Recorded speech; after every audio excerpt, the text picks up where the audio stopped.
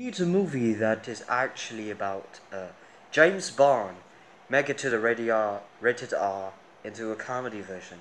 So let's do with the English manners that we can talk about Kingsman the Secret Service since today is the day where Kingsman the Golden Circle has out.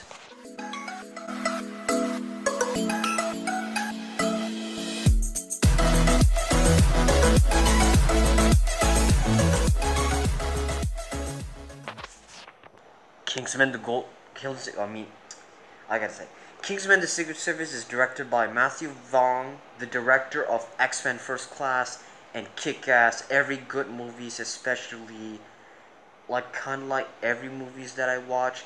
But mostly he did most of the 20th Century Fox, especially this movie.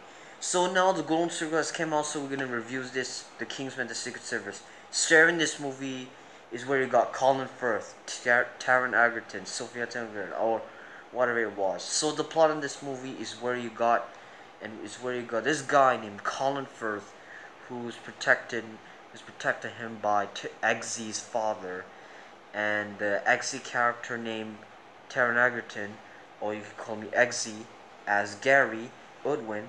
So Eggsy really needs to find a way, and he do some gangster some something like that when he was small, he really needs to keep his very, very important thing to the necklace.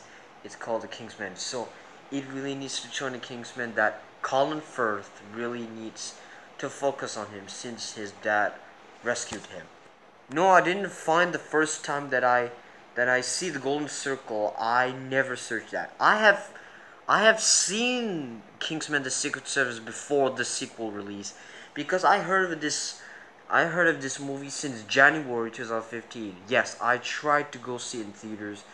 I th- when I thought I thought the movie's gonna be PG-13, but when I thought it's rated R, I was like, wow, my uncle just brought me to a rated R movie. Oh my god! And now I can watch rated R movies. So I'm about to watch the sequel, and I'm about to watch this since my uncle just told me this is one of the greatest movies of all time. I said, so let me talk the plot on this movie. It is great. The plot of this movie is such emotional. It's such great. It's some very acting, funny plots in this movie. There are very action scenes in this movie, which is very great and very successful. One of the meanings, what I thought of these characters, these characters are so great that I can see them. They are very, very grateful. I like the characters so much, especially Eggsy, because I thought he was very funny, very clever, and very suspenses. So when I see the CGI in this movie is kind of like okay because it prefers to be in an action sequence and impressive skills and wow that is one of the best action scenes I have ever seen and the villain in this movie is where you got Samuel Jackson's Valentine and also there's Professor Arnold who also known as Mark Hamill or you could call him Luke Skywalker because he is Luke Skywalker also. But he was in this movie. When I thought of this movie, I thought to myself, this movie is actually great, actually, because I think the plot in this movie is not great that bad.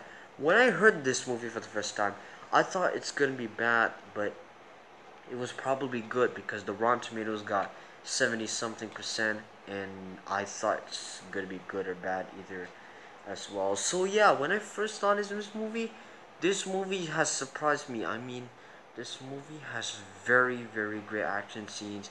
I can tell the characters in this movie. Taron Egerton, he's very great in this movie. Uh, when, for when I thought of this movie, he's very great acting in this character, especially for Colin Firth. And also, there's gonna be spoilers ahead. Sorry, guys, I'm gonna spoil the movie. So the end of the movie is where you got the church scenes that is one of my favorite scenes of all time. So after the church scenes is where got Valentine has killed Colin Firth. And yeah.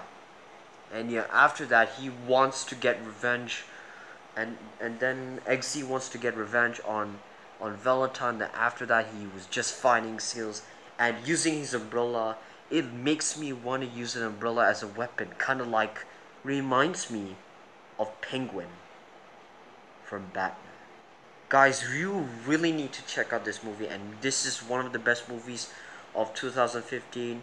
And yeah, this is great action scenes, great CGI's, great you know, poor performance, and very great skills, and very great action scenes, and one of the best movies of 2015. I'm gonna give, I'm gonna give Kingsman: The Secret Service an A. So after that, we have the Golden Circle, and the review is not even that good because it got 57% Rotten Tomatoes. But who cares? I actually like Hitman's Bodyguard since it got a 30 something Rotten Tomatoes, but I still like it, you know. So I don't care if the Rotten Tomatoes are bad. I still wanted to see it, and nowadays, and today I'm gonna watch Lego Ninjago movie, which is I hope is good because the review is not that even good, but it's not bad because it got 72%, which is wow. I thought it's gonna be more higher than than something the else, but instead it got 72. I was thought that it's 72 because it's just the Lego Ninjago movie. Why not give Batman Lego movie give it low? So yeah, I'm gonna watch the Lego Ninjago movie today. I'm not excited. I just want to see and yes, tomorrow I'm going to watch Kingsman the Golden Circle. And sorry for the mistaken words, what I said the Golden Circle, because I thought the Golden Circle I have always asked and this, instead of Secret Service. So go watch this movie. Very good. And yeah. So for those who haven't watched the Kingsman the Secret Service, have you watched this Kingsman the Secret Service? Is it good? Is it bad? Or is it okay? Or you think it's a mediocre then? So, see you guys next time. And don't forget. And I'm to watch Kingsman the Golden Circle. And see you guys next time.